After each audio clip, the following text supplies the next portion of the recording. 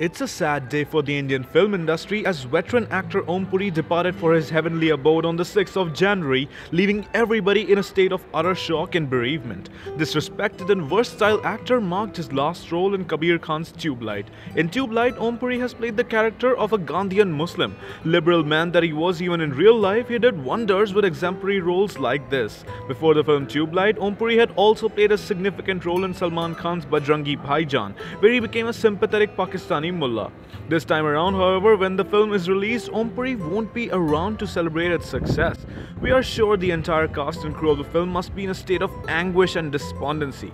What do you guys think on this grey of great loss? Comment below and share your valuable thoughts with us.